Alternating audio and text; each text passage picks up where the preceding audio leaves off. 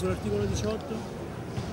L'articolo 18 è una fondamentale norma di civiltà oltre che una fondamentale norma deterrente, come tale è evidente che non si può cancellare e peraltro nessuna teoria economica riuscirà a convincerci che licenziare di più favorisca la crescita. Segretario, l'articolo 18 si tocca o no?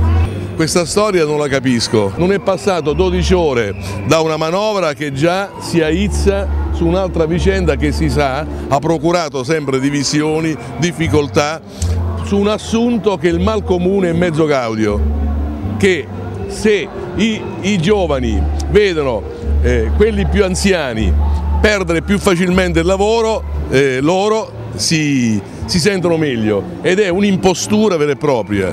L'articolo 18 è un vero e proprio simulacro, siccome non si riesce a fare nulla di serio per quanto attiene all'occupazione, allora di volta in volta si scopre eh, un colpevole.